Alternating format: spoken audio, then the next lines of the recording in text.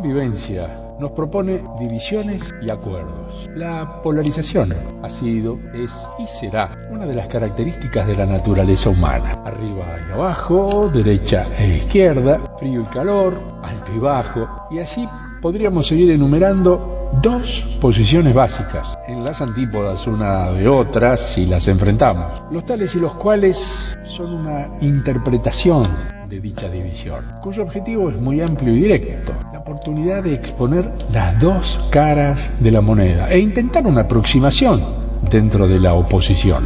Queda claro que existe un todo cuyas facetas básicamente son dos, pero en algún punto deberían coincidir. En matemáticas, la utilización del teorema propone soluciones prácticas. ¿Y por qué un teorema? Porque es lo más apropiado al momento de intentar un análisis profundo y llegar a una conclusión válida, viniendo de una probable hipótesis y elaborando una estudiada tesis, mostrarlo e intentar razonarlo. Es el objetivo final. Juntos esperamos lograrlo. Bienvenidos a Teorema de Tales y cuáles. Teorema de tales y cuáles.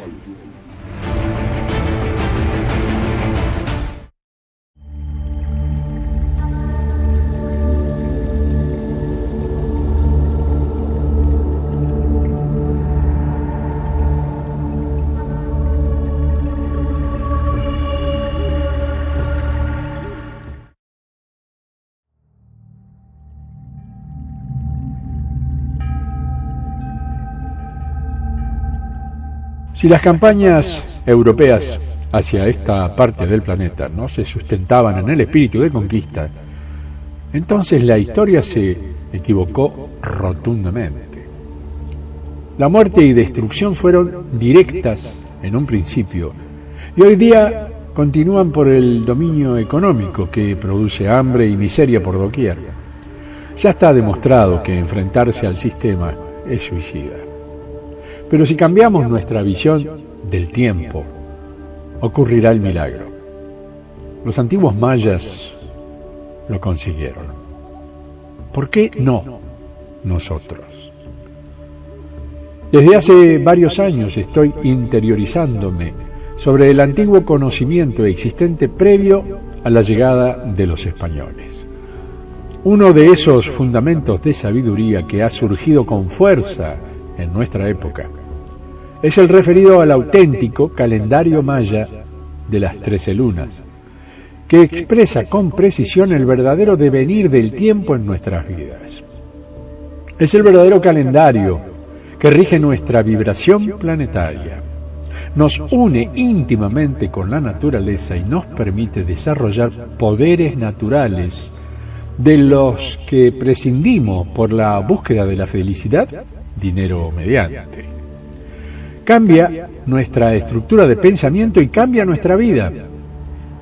Este regalo de sabiduría nos ayuda a lograrlo.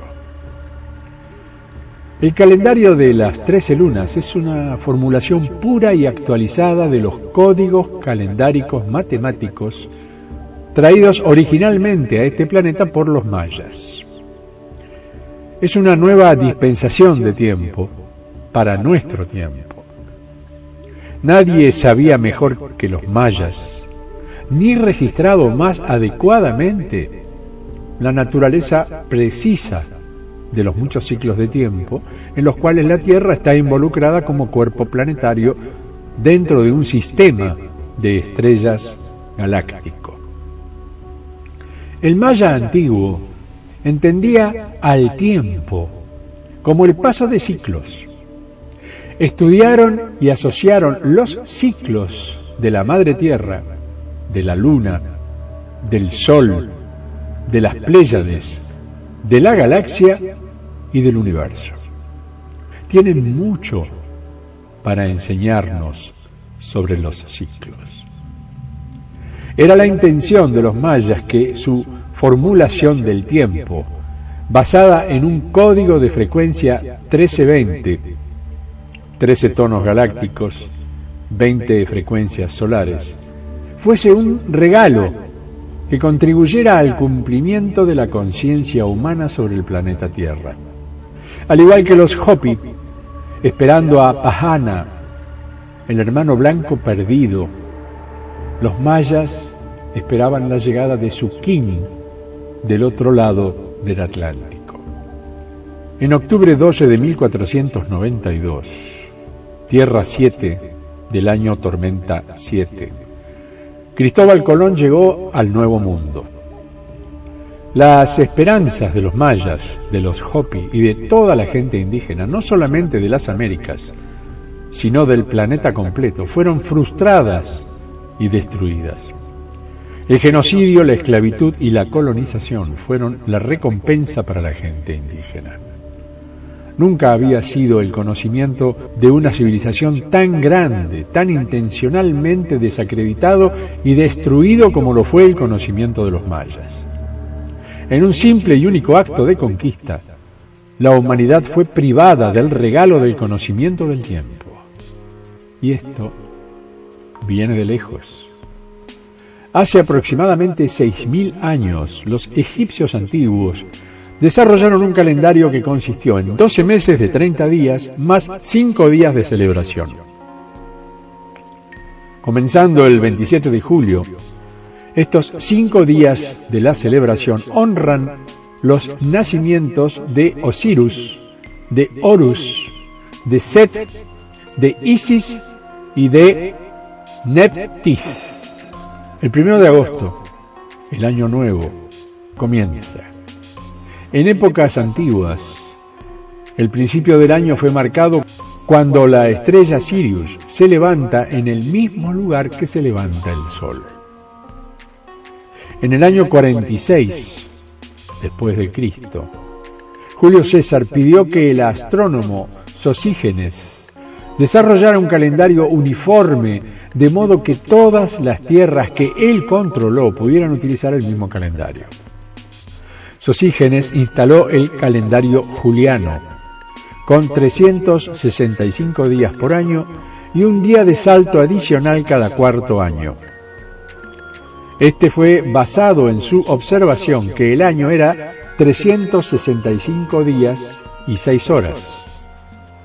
El calendario juliano fue dividido en 12 meses desiguales que no correspondieron muy bien al ciclo lunar, pero al parecer esto no era considerado importante. César Augusto cambió el nombre del sexto mes a agosto y pidió prestado un día a febrero para hacer de agosto de 31 días. Él quería que agosto fuera del mismo tamaño que julio, el mes nombrado por Julio César. Mientras que continuó el tiempo lineal, fue observado por los astrónomos, que midieron el tiempo a partir de un equinoccio vernal o primavera, y descubrieron que el año era levemente más corto de 365 días, a las 6 horas. En 1582, el Papa Gregorio XIII cambió el calendario juliano él declaró que el día que sigue de octubre 4 de 1582 sería octubre el 15, cayendo 10 días del calendario. Él también cambió el calendario de modo que los años bisiestos fueran saltados, los años del siglo, a menos que el año fuera divisible por 400. Este calendario vendría a ser conocido como el calendario gregoriano, que es el dominante hoy en el mundo. Simultáneamente a la proclamación del calendario gregoriano fue el desarrollo del tiempo mecanizado, la base de toda la tecnología de máquinas. En lugar de una frecuencia de tiempo galáctica 1320, el planeta fue legado con la frecuencia 1260, 12 meses al año y 60 minutos la hora. Frecuencia de la tecnología de máquinas. La frecuencia 1260 de la tecnología de máquinas es tiempo sustituto, el cual en realidad está basado en estándares de medida del espacio. En las revoluciones científicas e industriales que siguieron, la dominante mente materialista y adquisitiva occidental envolvió a todo el planeta. Esta misma mente busca ahora conquistar el espacio En 1990, el año solar era calculado en 365 días, 5 horas, 48 minutos y 45,5 segundos. En la religión cristiana, Pascua se celebra el primer domingo que sigue a la primera luna llena, después del equinoccio de primavera. Como resultado del error leve en el calendario juliano, la fecha de Pascua se deslizaba. La humanidad de hoy es manejada y obsesionada por una ciencia basada en el espacio y las matemáticas. Al reconocer solamente el espacio sin entender el tiempo, la ciencia ha creado una raza suicida y lisiada de seres humanos esclavizados, viviendo sin esperanza en un medio ambiente planetario que se está deteriorando rápidamente. Hasta que la raza humana esté dispuesta a reconocer su error de vivir en un tiempo equivocado y quitarse a sí misma de la influencia de este tiempo erróneo, la humanidad no tendrá ninguna esperanza de curarse a sí misma de los problemas que ella misma ha creado. El primer paso inmediato que necesita ser tomado es liberarse del calendario gregoriano, reemplazándolo en su lugar por el calendario matemáticamente adecuado de las trece lunas. El calendario de las trece lunas es la pieza clave de la nueva dispensación de tiempo. Las matemáticas del tiempo no tienen nada que ver con las matemáticas del espacio. Las matemáticas del tiempo están basadas en números completos y fracciones es radial y no lineal. Estas matemáticas cuatridimensionales consisten en conjuntos de ciclos entrelazantes que se repiten con diferentes significancias a través de niveles que se expanden cada vez más. Es de la mayor importancia que el conocimiento del tiempo como las trece lunas en movimiento sea diseminado a través de todos los sistemas de comunicación y educación en todo el planeta, tan rápido como sea posible, y que el calendario gregoriano sea dejado a un lado tan pronto como se pueda. Una vez que la humanidad esté operando en el estándar correcto de tiempo, tendremos una base apropiada de unificación para alcanzar y lograr la enorme y heroica tarea que ahora nos desafía. Más grande que cualquier enseñanza espiritual es el regalo del tiempo. El calendario de 13 lunas es un calendario regular. Tiene 13 lunas de 28 días cada una y nos permite sincronizarnos con el movimiento de la Luna alrededor de la Tierra y de la Tierra alrededor, y de la Tierra alrededor del Sol. La Luna da 13 vueltas alrededor de la Tierra y la Tierra da una vuelta alrededor del Sol en el mismo tiempo. Cada semana, la Luna gira 90 grados y cada 28 días gira 360 grados alrededor de la Tierra. La luna es femenina. La mujer cumple su ciclo menstrual cada 28 días.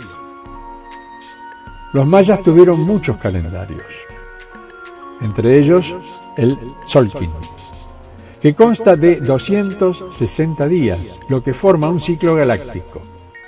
El Haab un calendario civil usado para esos fines de 360 días más 5 y el de los uinales, 18 uinales de 20 días, cada uno más 5 Wayem. Los mayas formulan su tiempo en una frecuencia 1320. 13 por 20 es igual a 260 a diferencia del gregoriano que tiene una frecuencia 1260, 12 meses en el año y 60 minutos la hora. Mientras el primero se basa en el tiempo, el segundo se basa en el espacio. La frecuencia 1260 nos mantiene en un tiempo mecanizado, sujeto al reloj y a la máquina. Es un tiempo lineal, por lo que permanecemos en tercera dimensión, dimensión de materialismo y esclavitud, mientras que la frecuencia 1320 nos permite elevarnos espiritualmente e ingresar a la cuarta y quinta dimensión, dimensiones de libertad y sincronía con el yo superior.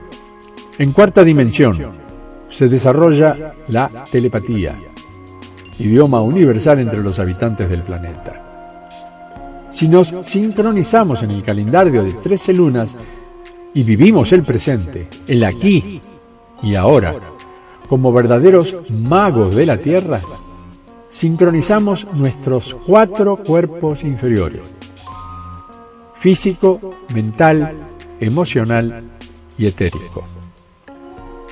La tercera dimensión es la manifestación física, concreta, es la proyección de la cuarta dimensión.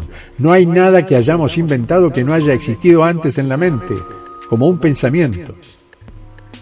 La cuarta dimensión es una dimensión mental imaginaria que precede y contiene lo físico. Es la dimensión del tiempo y de la mente. El cambio de calendario nos mantiene despiertos, restituye la autoridad del individuo, corrige las condiciones morales y sociales, establece la paz biosférica y planetaria, desarrolla los poderes de la cuarta dimensión, telepatía y amor incondicional, libera el miedo y finalizan las enfermedades. Si estamos sincronizados con el universo, vivimos en armonía, somos dueños de nuestro tiempo. La Iglesia Católica se dedicó ostensiblemente a destruir la antigua sabiduría prehispánica, confundiendo las fiestas populares de culto a las fuerzas naturales con invocaciones religiosas. De hecho, la propia Navidad no es otra cosa que una superposición grosera con la celebración del solsticio de verano en el hemisferio sur y el equinoccio de invierno en el norte. Consuetudinariamente se dedicó a mezclar los evangelios con las verdaderas creencias de los nativos de esta tierra. Incluso los que descendemos de los barcos hoy día tenemos confundido el aniversario del nacimiento de Jesús, falso porque fue el 21 de agosto, confundido con la llegada de Papá Noel o Santa Claus, como se quiera, cargado de regalos para los chicos, sin contar la comilón y los cohetes. Lo que se dice, un verdadero caos histórico. Pero esto no sería lo más grave.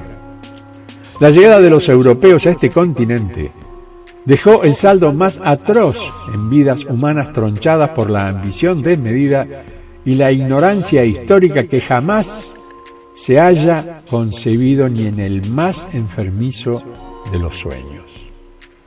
La conquista fue literalmente una masacre que tiñó para siempre las relaciones humanas entre los blancos invasores y los originales de la tierra. Hoy día, las tremendas diferencias entre quienes ostentan la sabiduría occidental y quienes aún se encuentran sumergidos en la ignorancia y el abandono, siguen siendo generadoras de violencia social y un caldo de cultivo peligrosamente recalentado por una economía al borde del hecatombe. Somos todos responsables de seguir siendo serviles a un Dios llamado dinero y dedicarle nuestros mejores esfuerzos bajo la inocente excusa de vivir bien. Estamos atrapados en una frecuencia de vida que no corresponde a la de un hombre libre. Los antiguos nos reclaman sabiduría de proceder y para eso nos indican el camino a seguir mediante simples cambios, que a su vez son profundos movimientos de energía dirigidos a la evolución de nuestra humanidad. Es solo cuestión de tomar la decisión personal de cambiar. Con el tiempo, todos harán lo propio.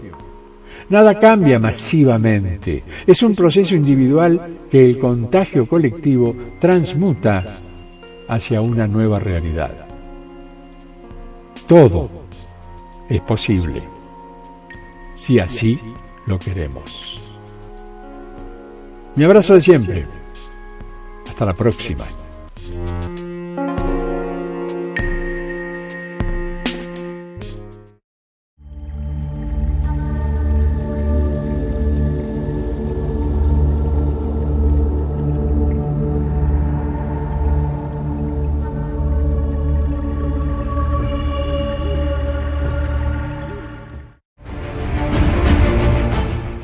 Teorema de tales y cuales.